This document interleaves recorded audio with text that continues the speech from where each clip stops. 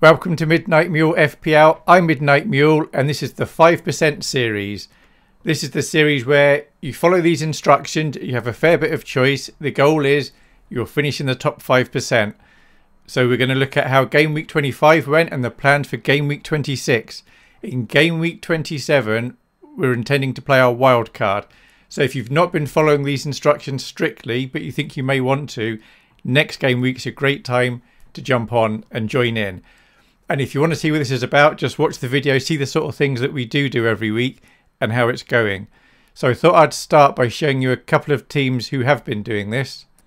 So uh, game week 16 we had the world break and then we had a wild card effectively and game week 17 we then managed to all change our teams. So Texas T-Rexes, Iota Wolf, they started doing the system from game week 17. So game week 16 you'll see they were just outside the 3 million mark and then they've been following it they've been gradually building up and now they're just outside the 1 million mark which is quite good. I mean seeing as this person doesn't necessarily know an awful lot about football they're just following the instructions the idea being they do well in their mini leagues. Now sarah jane b celebrating victory she's actually been on a couple of these videos showing her team for different reasons. She has been following this from the start so she was already at 600,000. That's around the 6% mark when the World Cup hit us. And then since then, bit of a bumpy ride, but the general trajectory's been up. And they're now within the top 3%, and they've only got to finish in the top 5% to achieve what we were saying here. So I just thought I'd show you that the general idea behind this works. There's another two teams that I know have been doing this from the beginning. One of them's around the 6 7% mark, I think the other ones maybe a bit lower than that, but they accidentally played their free hit one week. Another week they didn't watch the video because it was a midweek game and they forgot, I think. So they're not quite in sync. But from next game week, they'll be able to get back in sync again. There are seven teams that have told me they're following this system, and so I'm watching their teams. Four of them I know are religiously following me. Another three are roughly following me, but sometimes they do their own thing. But the following four players are no longer in any of their teams. That's Ederson, De Bruyne, Fernandez, and Summerville. So I'll not be talking about them when we look at the points. So bankers, these are players that we all have. Ward, Bueno, Trippier, Shaw, Andreas, Rashford, Martinelli, and Haaland. Something amusing if you watch other content creators, two or three weeks ago, just about all of them were saying, yeah, it's worth getting rid of Martinelli to get in Saka or Odegaard. And at the same time, I was saying in one of my videos, I don't think it's worth it. It's like, it's not worth taking a hit. You can just stick with Martinelli. And somebody who semi follows me took out Martinelli, which was unfortunate, as you'll see. So anyway, Ward for most of us started on the bench. Bueno got three. Trippier bench. Shaw bench. Andreas one.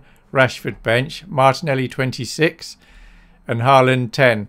So if you look at the content creators, they uh, by and large didn't do very well this week because most of them dropped Martinelli, which is a shame.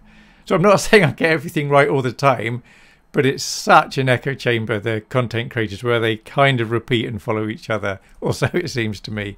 Anyway, the bankers would have got you 40 points. Goalkeeper, you'd have had one of Pope, Ramsdale, or Kepa. Pope, of course, didn't play, so if he was your keeper, Ward would have come on. Ward got one point, Ramsdale 13, Kepa 2. So your keepers would have averaged 5.3.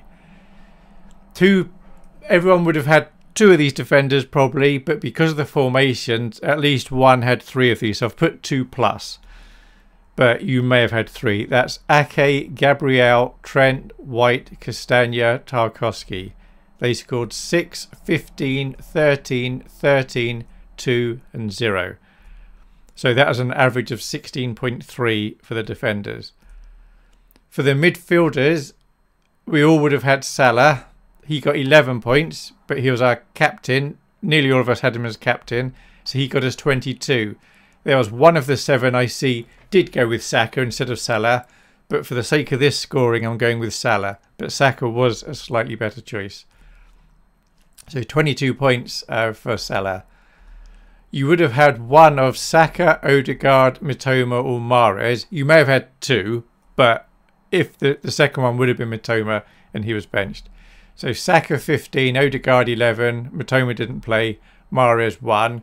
So this midfielder got you an average of 9 points. You would have had two of these forwards, would have played two of these forwards, probably. But again, formation, some only played one of these because they played an extra defender. Kane, Darwin, Nketiah, Mitrovic, Toney, Gnonto. They scored 6, 2, 5, 2 and 1. Mitrovic didn't play. So they averaged 6.4. Not so good. But each week, sometimes forwards do really well, sometimes forwards do bad. It's okay. It's how we do compared to the rest of the 11 odd million that play this that matters. So global average last week for all the millions that are playing it was 74 points. If you picked the worst possible players from this system, you'd have got 69, which happens to beat some of the content creators I saw. The average was 99 for this system, and the best you could have got was 129. And the four that I know are doing their best to follow me exactly, their lowest score, I think, was the high 90s, maybe 97, 98. The highest was about 109, I think. So their, their average was just over 100. So they all got green arrows, so that was nice.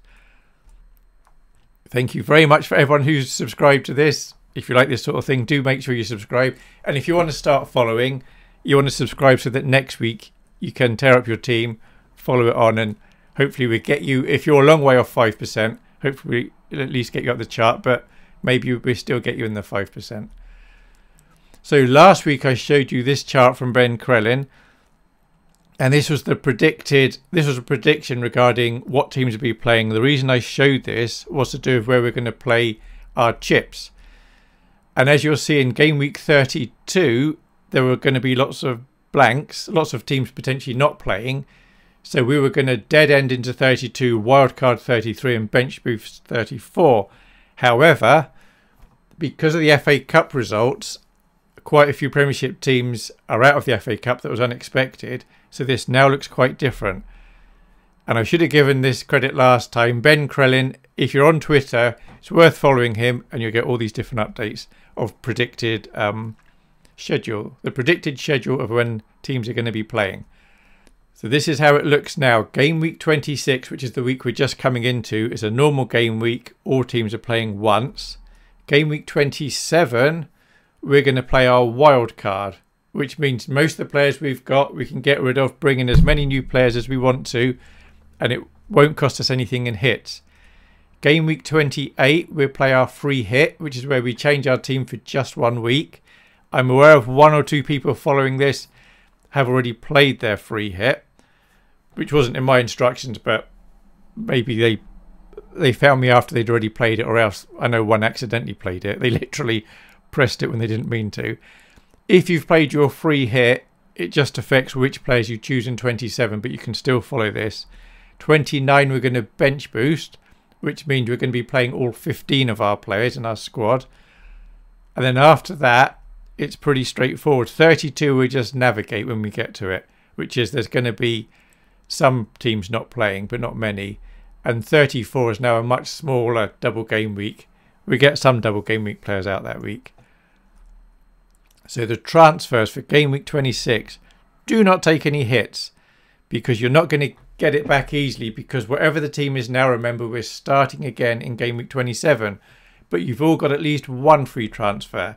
So if you want, you can have a bit of fun and just change one of your players. You've seen which players are in the system. If you want to switch a keeper out or a striker or defender, move one of them about. That's fine. You shouldn't do any harm. I wouldn't take out Haaland because you probably got a lot of money in him. Any player you've got a lot of money in, you probably don't want to move on. But obviously, it's entirely up to you. So you've all got one free hit sorry, yeah, you've all got one free transfer. Some of you may have two free transfers, but it's not likely. That said, Shaw, who's in this system, he's yellow flagged, so he's a doubt. He'll probably play, but may not. Bueno definitely won't play because he's got a hamstring injury. Nketiah is also flagged. So if you're wanting to make a transfer and you've got Shaw or Nketiah, they may be the one you want to move on. Bueno is far less important because he'd be last on your bench anyway. But if you want to play about and swap him, you can. So if you want to make a transfer and you want to move on, for example, Shaw or Bueno or any of your other defenders that you don't fancy this week. Then there's Ben Mee from Brentford, Dunk from Brighton, or else Mings from Villa. Any of those would be fine. Forward, if you've got Nketiah or another one of your forward, you want to move them on, then you could go for Toney. He's is almost certainly going to get a ban, but it's currently looking like it won't be until April, the earliest. Watkins for Villa, he's scored in the last four Premiership games. Or Iheanacho for Leicester, they're playing Southampton, they're away to Southampton. But like I said, it's only one week. You could do this if you want to. Regarding the bench, each week we say who should go on your bench. If we get the bench right, the other 11 players sort themselves out. So Ward would be your bench goalkeeper. And then I'm going to show you, I think, nine players now. The first player you've got that I show you should be position number three in your bench. The next one you've got position two. The third one position one. Obviously, there's restrictions regarding you have to play at least three defenders. But the best you can, this is the suggested bench order. Bueno, Gnonto, Castagna, Ake, Andreas, Dunk, Mings, Mee, and Tarkowski. Obviously, if you want to move those about a bit, you can.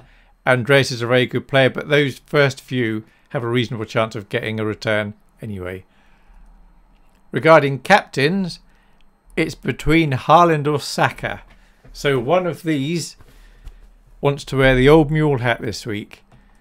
Now, the advantage of Saka is he's got the best chance of getting a high score this week. And so he is going to do an awful lot better However, globally in the whole game, more people will be captaining Haaland. So if you choose Saka and Haaland outscores Saka, it's going to cost you a lot of ranking points. But if you choose Haaland and Saka does better, it would cost you some ranking points, probably, but nowhere near as many. Uh, Haaland's at home and they're playing Newcastle, who defensively have been quite good this season, or very good this season. Saka's also at home playing Bournemouth, who've been quite woeful. So if you didn't know what anyone else was doing, Saka's probably the slightly better choice. But given how many people are going to go for Haaland, you're going to be hurt a lot more if you go Saka and Haaland as well. But you don't do it out of fear. You want to choose whichever one you want. If you don't know, flip a coin. It really doesn't matter. Now, if you've got both of these, I'd suggest you make one your captain and one your vice captain. But if you don't have both of those, then for your vice captain choices, I'd say it's between Salah and Kane. If you've got one of those, I'd suggest you give them the vice captain mule hat.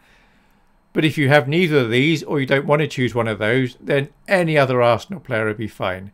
Even if it was Ramsdale in goal, he could get a clean sheet. And I think that's about it. so the scores this week, I would expect the average score to be the high 40s, low 50s globally using this system's probably going to be between about 50 and 60. Of course, some people in your leagues or globally might end up getting 80, 90 points, and some will get 30 points. But there we have it. Thank you very much for watching. I hope you do well. And remember, next week we should be wildcarding, so it's going to be a much bigger video, but we get to kind of start again. Okay, all the best for game week 26. Bye.